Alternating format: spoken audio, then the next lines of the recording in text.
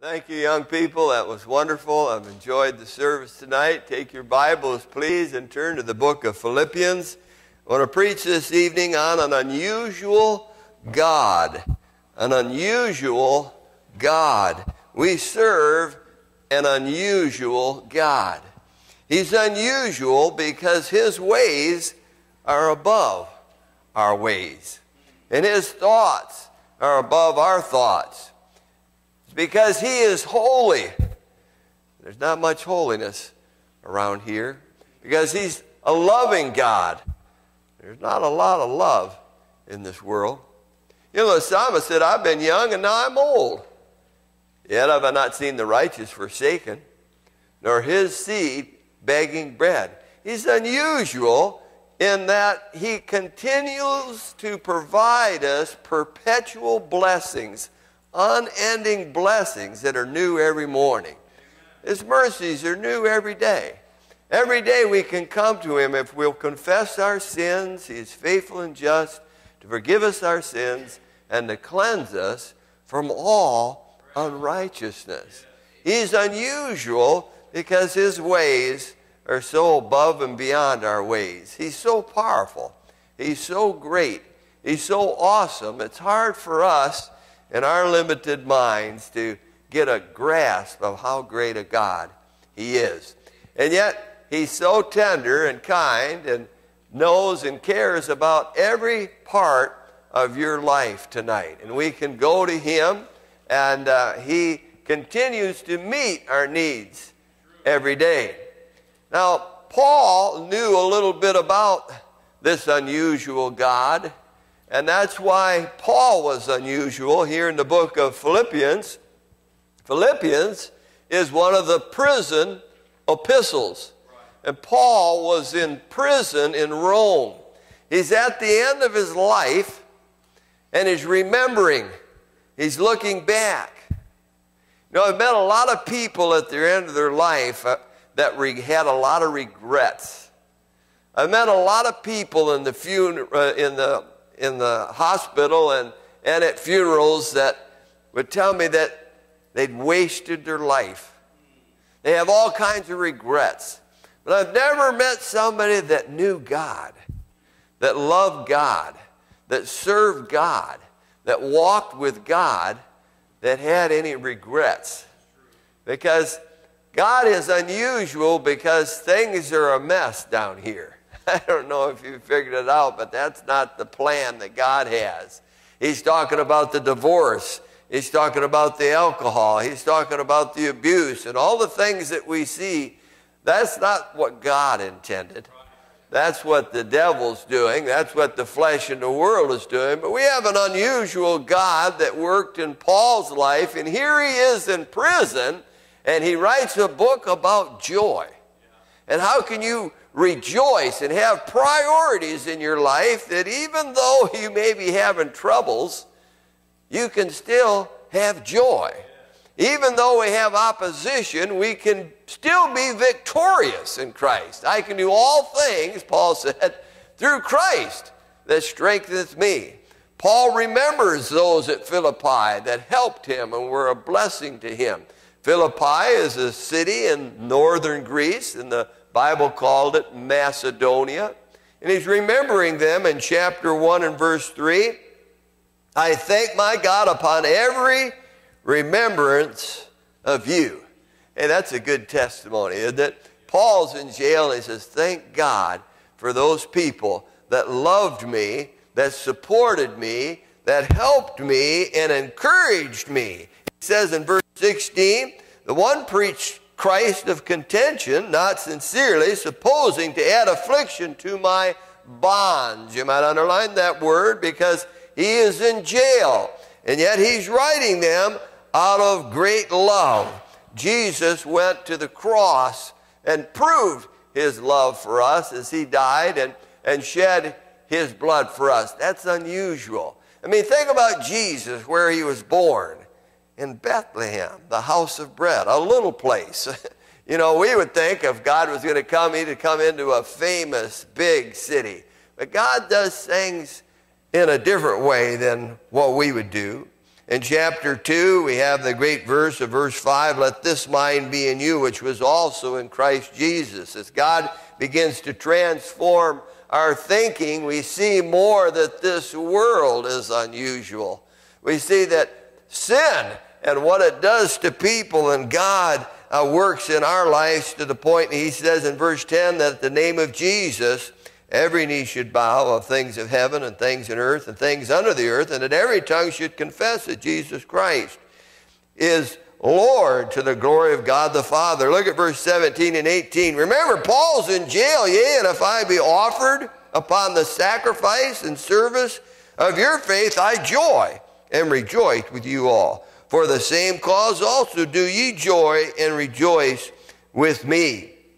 Notice, if you would, in verse 19 of chapter 3, as Paul says, whose end is destruction. He's talking in verse 18 about the enemies of the cross, those that oppose God, whose end is destruction, whose God is their belly, and whose glory, who glory is in their shame, who mind earthly things. Now, if we're going to get to know the unusual God, we have to get a heavenly mind, setting our affections on things above, looking at the eternal, not the temporal, and looking at the spiritual and not the physical. And he says there in verse 20, for our conversation, our citizenship, our behavior, our manner of life is in heaven from hence also we look for the Savior, the Lord Jesus Christ. You know, God sees the end from the beginning. He's not limited by time, and He sees us already seated in heavenly places. And it's hard for us to understand it. And then in chapter 4, he says, Rejoice in the Lord, verse 4. Rejoice in the Lord always. And again, I say, Rejoice.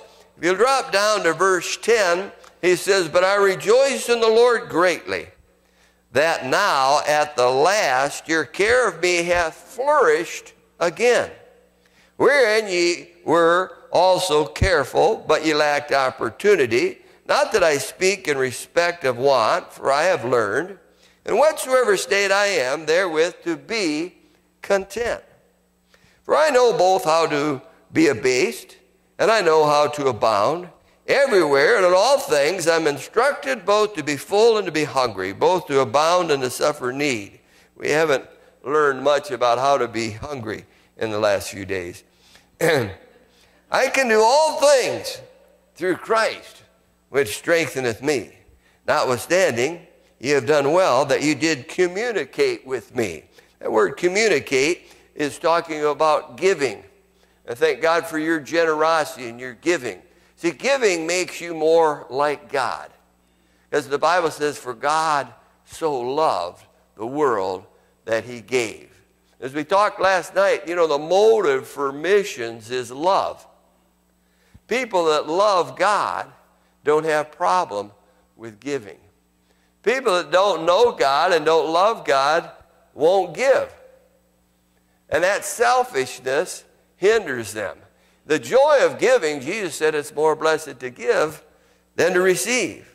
Now, as you keep reading it here, it says that ye did communicate with my affliction. Now, ye Philippians know that know also that in the beginning of the gospel, when I departed from Macedonia, from northern Greece, no church communicated with me as concerning giving and receiving, but ye only. So this was the only church that was supporting Paul. Notice verse 16 For even in Thessalonica, which Thessalonica is right by Philippi, and uh, ye sent once and again unto my necessity. Now, I want you to notice as we think, and I was talking to the young people in chapel, who gets the greatest blessing? The missionary or the church in the missions conference? Well, the missionary gets material things. But I want you to notice that the church gets eternal things and material things. Now, notice what it says here in verse 17. Paul says, Not that I desired a gift. It wasn't that I was wanting you to give to me. But he said, I desired fruit that may abound to your account. You know, anything that you give to God with a right heart and a right motive is going to be eternally rewarded. Revelation 22 says, I come quickly and my reward is with me. Now, I've had a lot of bad investments in my life. You know, if you have invested something that was a sure thing, like an oil well that you didn't get anything from, or I name all kinds of stuff. I've invested in things and it didn't amount to much. But let me say, anything that's given to God is going to bring dividends. Because God says it's going to be added to your account. He says, You're going to have fruit that may abound to your account. But I have all and abound. I am full, having received of Epaphroditus the things which were sent from you. Remember, young people in chapel, we said missions is to send. And so we send the missionary, but we also send our gift. We also send our love. We also send our prayer that God would save these families and, and work through your camp and your churches and, and the work that you're doing. An odor of a sweet smell, a sacrifice acceptable, well pleasing to God. You know, that we serve an unusual God. You know, you look in the Old Testament, it's unusual to sacrifice animals and that to be some, type, some type of an acceptable sacrifice to God. But that all pictured the Lord Jesus, the Lamb of God that would one day come. You know, as God gives us more and more light, we see how awesome a God He is. But my God shall supply all your need. Not only did you get fruit to your account, but God says, I'm going to supply, God's going to supply your need. Now, you, you provided for my need out of your poverty. But God's going to supply your need out of his riches. Notice he says in verse 19, But my God shall supply all your need according to his riches in glory by Christ Jesus. I've learned as we've lived by faith that you can't outgive God. Now, living by faith is something that we have not just talked about, but experienced. You know, it's one thing when you leave your country and go to another country, you're learning about living by faith. And I pastored for a couple years, and God led us to go and start a church. And we didn't raise much support, we just went and started by faith. And I thought, man, I'm not a church planning guy. I don't know anything about church planning. But we went by faith and we sold what we had and gathered up what we could and raised important, we went. I, I don't remember, I could tell you how God is an unusual God in the way He supplies and answers prayer. One of the reasons our children are serving the Lord is because we stepped out by faith and went and started a church. We got our family together and said, hey, we need to pray. We need $700 for rent, and we don't have it. I had a man call named Peter. He visited the church one time. He says, hey, Brother Bowman, did you read those magazines I gave you? He gave you some magazines on the Mennonites. We had 21 different Mennonite churches in town. We were the only Baptist church in 40 mile radius, any direction. And uh, I said, Well, I looked over them. Well, I didn't read them very good because he said, Well, the reason I'm calling is I put a check in there for you. When he said that, it got my attention. I said, Hold on a minute. I knew where they were they were on the bench out in the garage. I ran out there, dusted it off, then going through them. Sure enough, there was a check. How much do you think that check was for? $700. Hey, God is an unusual God that's able to supply in unusual ways. We were just in, uh, it seems like we were just down there. It was almost, I guess, a year ago we were in Bahia Blanca, Argentina. How many have ever been to Argentina? I didn't think so. Uh, Bahia Blanca, Argentina. That's where our daughter and son in law are missionaries. And there was a young couple that were there, and they were just learning about financial giving and how that God requires us, uh, of us that we give because He doesn't want us to be selfish. And the Bible says that we first should give ourselves to the Lord, and then uh, he was learning about financial stewardship or giving. And so, for the first time in his life, he put a tithe, 10% of his income, in the offering. The next week, this young couple, just new in the church, came. The next week, he came, Pastor, Pastor, can I give a testimony? Pastor allowed him, Brother Merlot, to give a testimony. He said, You know, last week, by faith, I put my tithe in the offering. He said, This week, I got a raise that exceeded what I put in the offering. God supplies in unusual ways and in ways that you would never expect. Now, notice what God says in verse 19 But my God shall supply all your need. Now, God didn't say you'd get a brand new Cadillac. Huh? He didn't say He's going to supply your greed. He said He would supply our needs. You know, all of God's blessings are not dollars and cents. Money doesn't mean anything to God. Say, then why does He want us to give? He doesn't need your money, He wants your love. And where your treasure is, there will your heart be also. You can't love somebody and not give. Now you can say, oh, how I love Jesus, but if it never reaches your pocketbook, there's a problem. If you love somebody, you want to do something for them. Amen? And uh, God wants our love. Now, here in Philippians, we have a beautiful picture of faith promise giving. The church at Philippi supplied the need for Paul as he was going preaching. And then God, Paul writes back and says, Now God's going to add fruit to your account. And not only that, but he's going to supply your need. I remember pastoring a church in Canada. We had some people that were concerned and said, Pastor, we gave $100,000 to missions last year. Think what we could have done here with that. I said, Well, let me remind you of something. Last year was the best year financially the church has ever had in 76 years.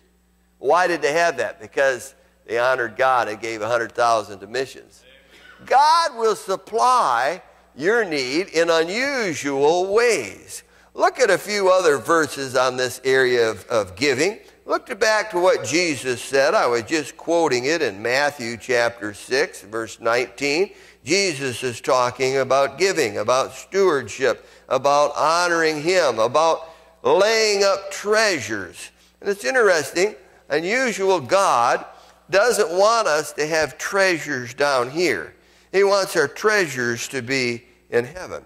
He says there in verse number 19 of Matthew 6 Lay not up for yourselves treasures upon earth, where moth and rust doth corrupt, where thieves break through and steal but lay up for yourselves treasures in heaven, where neither moth nor, nor uh, rust doth corrupt, and where thieves do not break through and steal. Now, notice it says here, for where your treasure is, there will your heart be also. Look over to Luke 6 and verse 38, another promise on giving that I memorized years ago. Luke 6 38, it says, Give, and it shall be given unto you. Now, what we want is we want God to give to us first. I've had people say to me, Well, preacher, if I won the lottery, I would give a portion of it to the church. You know, if God sends the money in, and if there's anything left over at the end of the month, then I will give to God. But that's not what the verse says. That's not what the promise is. That's not exercising faith. By the way, in uh, Matthew, where we were just reading, the last verse, couple verses, it says, But seek ye first the kingdom of God and his righteousness, and all these things will be added unto you. God wants to be first in your life. If he's not first, he's not Lord. He wants to be Lord of your life. He wants to be first. So notice what the scripture says here. Give, you give first, and it shall be given unto you. Now, how will God give back to you? Well, we, have been, we've been talking about an unusual God that gives perpetual, never ending blessings every day. How many appreciate the air God gives us to breathe? Huh? The food. the sunshine. There's so many blessings. You can just go on and on and on about every day. God gives us more and more, uh, and we don't deserve it. Uh, but how will He give it back to you? He'll give you a good measure. It'll be pressed down, shaken together, running over. Shall men give unto your bosom? For with the same measure you meet withal, it shall be measured to you again. We uh, showed you a picture of the church there in Steinbach last night that we, we moved. And um, there was a man that was mad at the church. He was mad at me. And uh, can you imagine a nice guy like me? Why some of you mad? But he was mad at me. And, and he was doing wrong. And I confronted him about it and his wife and was trying to help him. But nonetheless, he got mad about it. And I don't know for sure that he did it, but I'm 90 something percent sure uh, he came and broke a bunch of windows in the church. Now, he meant to do us harm, but he actually did us a real blessing because the windows were old and bad, and the insurance company paid for brand new windows, and we installed them and ended up with several thousand dollars left over. I mean, we have an unusual God that can even take bad things and make it be a blessing. Paul's in jail, but he knows this unusual God and he's rejoicing. Now, every New Testament doctrine has Old Testament illustrations. The Bible all fix, fits together. And I want to show you our unusual God and how he met the need of his preacher, Elijah, through a widow woman. And you're familiar with the story. Turn with me to 1 Kings chapter number 16 we find that the children of Israel were under God's judgment. Instead of being blessed the way God wanted to bless them, they were being chastened. Now, I don't know about you, but I'd rather have the blessing than the curse. I'd rather have God's goodness than God's chastening. But they were being chastened because of the wicked uh, Jezebel and Ahab. And in verse 25, he says, They wrought evil in the eyes of the Lord. In verse 30, and Ahab, the son of Omri, did evil in the sight of the Lord above all that were before him. In verse 33, Ahab made uh, groves uh, to provoke the God of Israel. Uh, he worshiped, worshiped false gods, Baal, and, and led the people in a wrong direction. So, because of that, God set a drought. And there wasn't any rain. But yet, the man of God, Elijah, was taken care of. How was he taken care of? Well, look at verse number 4 of chapter 17. And it came to pass that thou shalt drink of the brook, and I have commanded the ravens to feed thee there. So he went and did according to the word of the Lord, and he went and dwelt by the brook of Cherith, that is before Jordan, and the ravens brought him a buzzard burger every day. Do you see that in the Hebrew? Bread and flesh in the morning and bread and flesh in the evening. And he, now that's unusual. My dad was working in Florida and in, uh, on a building, and he heard something behind him, and he turned around. There was this beautiful trout flopping around on the ground. And he went and picked it up. He noticed there were some claw marks in its back. The osprey had grabbed it from the ocean and was headed to the nest. And if they drop it, they won't go down and get it for fear of predators and stuff. They'll go back and get another one. So dad just put it in the, a pail of water, took it home for lunch, cleaned it, and uh, they had it for lunch. You know, God can provide in unusual ways. Amen. And God provided the meal for Elijah with a buzzard burger. A raven comes in with bread and flesh. Say, where did he get it? I don't know. He didn't ask any questions. He was just thankful. God said, eat it. Say, a raven was unclean. God can even use unclean things for his honor and glory. God even used the donkey to speak to his servant and to correct him, Balaam. You know, God is able to use unusual creatures, and many times they're more obedient than we are. So we see the unusual feeding, and then we see uh, here not only unusual provisions, I'm staying with the, the P, but unusual places. When the brook dried up, uh, God says in verse 9, Get thee to Zarephath. which belongeth to the Zidonians, which is close to Zidon. So that little area was called the Zidonians, but it was actually in the area that we would call today Lebanon, north of Israel. And that day it was called uh, Phoenicia. And, uh, and, and that area uh, is where uh, this widow was at. And he says, Go to Zarephath. Now, that doesn't probably mean anything to you, but it meant something to Elijah because Zarephath was the hometown of Jezebel. And Ahab and Jezebel were looking for the prophet because they were blaming the preacher for their problem. Now, it was their sin that caused the rain, but he brought the message that there wasn't going to be any rain. So they were blaming Elijah for the drought, and they were looking to kill him. So he wasn't too excited, I don't think, to go to Zarephath. But he went to an unusual place.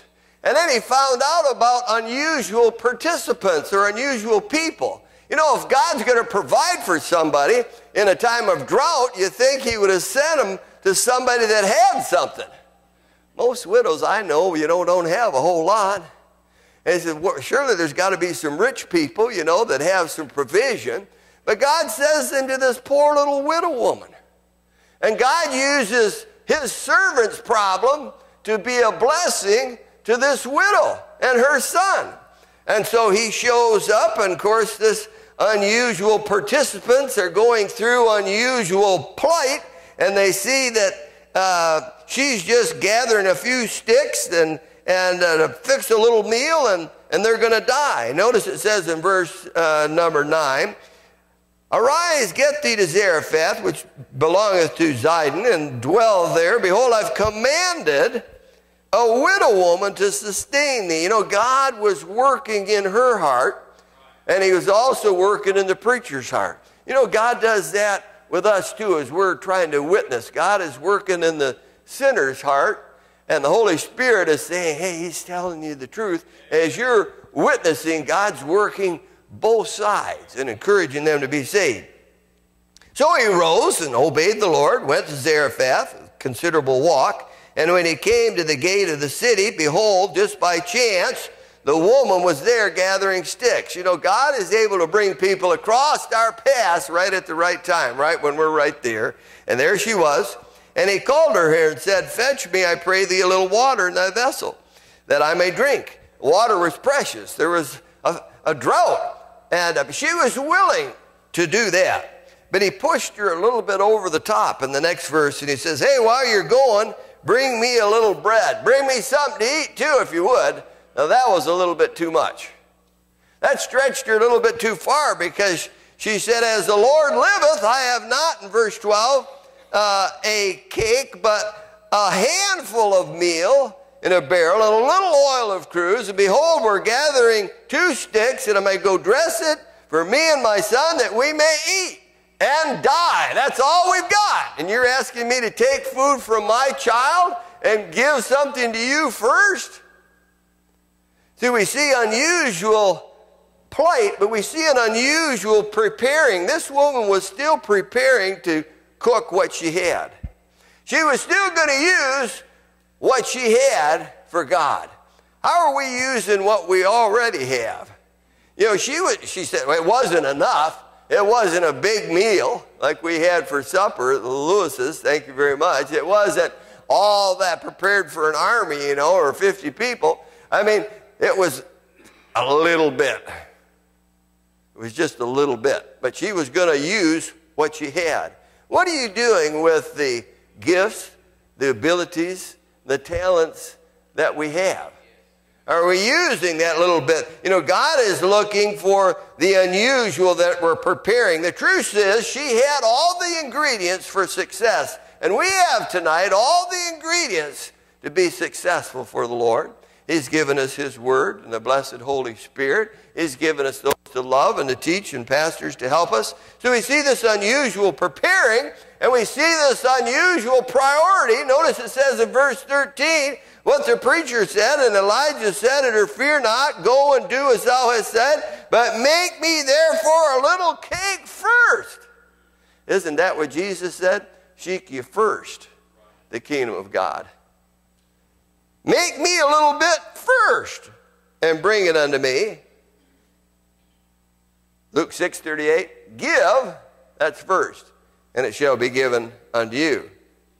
Now, here's the promise. We see this prophecy, this unusual promise or unusual prophecy. He says, For thus saith the Lord God, the barrel of meal shall not waste, neither shall the cruse of oil fail until the day that the Lord sendeth rain upon the earth. He said, Listen, if you give me some first, if you'll honor God and put me first, you're going to be supplied. You're going to be blessed. But my God shall supply all your need according to his riches in Christ Jesus. He said, Well, I just got a little bit. You know, the widow, she only had a little bit, but she gave what she had and God took notice of it. She never went without after that. God supplied her need. The poorest person in here needs to give the most. Not, I'm talking about the most in dollars and cents, but you need to give. People that don't have, you say, well, I just don't have. People that give have. People that don't give don't have. People that don't give financially always struggle and live from week to week and can't pay their bills and are always behind and always having this problem and that problem. I'm not saying if you give you won't have any problems, but over the last 40 years or 50 years in Christian life, I've noticed that people that give have. And people that don't give don't have.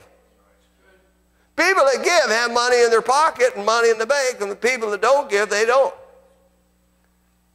So people that honor God, she only, now, what did she have to lose? She just had to eat that little bit and they were going to die. We're all going to die. Are we going to live for self just today or are we going to focus on eternity? She by faith said, okay, God, I'm going to prove you. Malachi 3. See if I won't open the windows of heaven and pour you out a blessing. Okay, she makes him a little cake and brings it to him. I'm sure she's human, like you and me. She's going, Boy, I don't know about this. There's not going to be much left. There wasn't much there in the first place. Well, when she began to pour it out, there was more for her and her son that there, there was in the beginning. And they ate of it for a year because we have an unusual God and this unusual prophecy. You know, the, the story doesn't end there. There's unusual peace that comes in her life that we find in verse number 15. And she went and did according to the saying of Elijah, and she and he and her house did eat many days. And if you have a reference Bible, it'll say a full year. Uh, what peace she had in her life. Now, the story doesn't end there. We're not going to go much longer. I'm just about done. But because of her obedience to the Lord, she developed a relationship with the man of God. And later, she had a lot bigger need than just the food and bread. Her son died. And she went and got the man of God. And, and I want you to see this unusual physician. The man of God comes in verse 21 and he stretches himself upon the child three times. Now, I don't know about you, but I don't know if I'd have let somebody, hey, you know, that's my son. Get off him. You know, what are you doing laying on him? You're, you know, a big man laying on a little guy. That is, you know, three times he did it. And he cried unto the Lord, said, Oh Lord my God, I pray thee, let this child's soul come into him again. How do you know when somebody's dead? When their soul leaves their body. The soul came back into that little guy's body in verse 22 and the lord heard the voice of elijah and the soul of the child came again into him and again and he revived now i want you to see some unusual praise verse number 24 and the woman said to elijah by this i know that thou art a man of god and that the word of the lord in thy mouth is truth Will God do this for you if you honor Him by faith and put Him first? Is God a respecter of persons? Does Luke 6:38 apply to you? Give and it shall be given unto you. Does Jesus' words apply to us? Seek ye first the kingdom of God his righteousness, and all these things will be added unto you. You can struggle and work and try to make it on your own, or you can say, The earth is the Lord's, the fullness thereof. God, you own it all. It's all yours. Whatever you want to do, I'm trusting and looking to you. And that's what she did, and God blessed her. One other verse, Proverbs 19 17 says, He that hath pity on the poor lendeth unto the Lord, and that, that which he hath given, he will pay him again. That's God's promise. If you give to these poor Africans or Germans, there's nobody poorer than those that are without the gospel. To help carry the gospel to them, God says, whatever you've given, I'm going to pay it back to you again. I found it true in my life. I've shared the story many times, but when we started in evangelism seven years ago, our church was having a big special offering. And it was for missions and building repair, and I think it was about three or four things. It was a special offering. The pastor's been encouraged for a month. We, want, we need a big offering. Pray, give a special offering. My wife and I prayed about it. God gave us a big figure that we were to give in the offering. Well, that week before, I'm going to uh, a church, and we preached four days, Sunday to Wednesday. We spent $85 in gas going back and forth, and they gave us $135. And I subtracted 85 from 135, and then I divided by four, and I said, you know what, I'm not making very much per day. And here we are giving this big offering in the, in the offering. I wasn't giving cheerfully, I'll be honest. But, uh, but we did give. You know, it's better to do right wrongly than not to do right at all. But it's better to do right rightly because God loveth the cheerful giver. Well, that week I flew to Edmonton and when I got to the airport, the pastor said, I'm sorry, but I'm leaving. I'm flying back to Detroit. He flies back to Detroit. And that week, the church gave me the biggest offering we have ever received in the seven years of our ministry. When I came back, I said, honey, we need to start giving more in the offering. We gave, and we got the biggest offering back, more than twice what we put in the offering. I just challenge you as, as, as, an, as a visiting evangelist, you can trust God. He's an unusual God. He supplies in mysterious ways, but He will meet your needs if you'll put Him first and honor Him. Would you stand, please, with our heads bowed and our eyes closed?